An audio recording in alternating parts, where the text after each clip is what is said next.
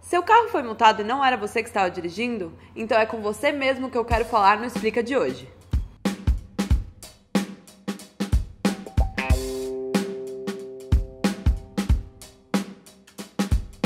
Se alguém estava dirigindo seu carro no momento da autuação, você pode indicar quem era o condutor para que você passe a sua multa para ele. Você pode fazer o processo totalmente pela internet sem que você precise sair da sua casa. E fica a dica: o processo pela internet fica pronto muito mais rápido do que se ele é feito pessoalmente. Então vamos lá, eu vou ensinar para vocês o passo a passo como fazer. Primeiro, você vai acessar esse link que está aparecendo aqui na tela.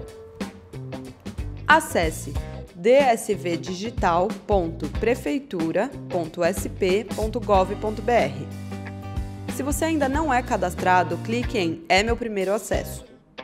Escolha pessoa física ou jurídica. Coloque o CPF ou o CNPJ e o Renavan. E clique em Cadastrar. Preencha nome, e-mail, confirme o e-mail, seu telefone e seu celular Crie uma senha e confirme a senha. A senha tem que ter no mínimo 8 caracteres. Leia as informações e clique em Eu concordo e em Avançar.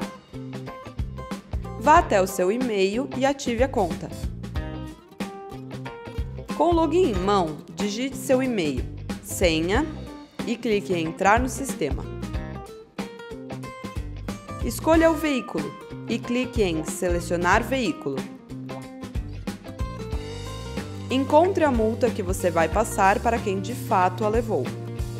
E clique em Indicar condutor infrator. Aqui tem o resumo do passo a passo. Tenha em mãos os dados pessoais e a CNH de quem cometeu a infração.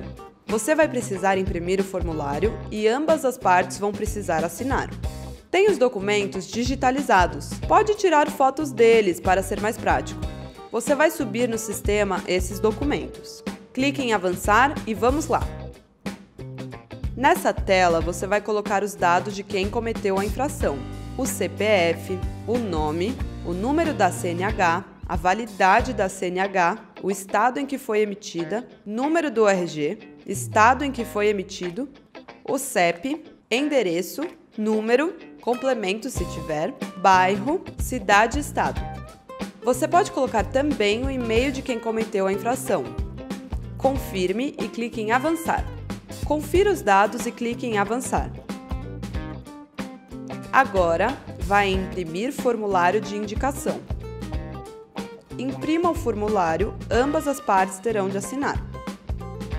Depois disso, digitalize esse papel, pode ser uma foto. Isso feito, clique em Avançar. Volte na infração escolhida e anexe os documentos. Primeiro, coloque a CNH de quem foi multado. Depois, o formulário. E depois, o seu documento de identificação. Clique em Eu concordo e Enviar. Pronto, seus documentos foram enviados para análise e você será comunicado por e-mail quando o status do seu pedido mudar. Mas você pode ver por aqui também, clicando em Detalhes e Indicação Condutor. É isso! Então é isso, galera. Se esse vídeo foi útil para você, dá o seu like, compartilhe ele com todo mundo e também dê sugestões aqui nos comentários dos próximos vídeos que pode ser legal para você. E não esquece, ativa o sininho. Até a próxima. Fica a dica: quando o processo é feito pela internet, ele fica pronto muito mais rápido de quando. Do que quando. Ele fica muito mais rápido e pronto. Ele fica pronto muito mais rápido do que. Não dá pra substituir essa palavra. Do que quando? É um trava-língua. E dá também sugestões aqui nos comentários do qual conteúdo você. Do qual? Do qual conteúdo?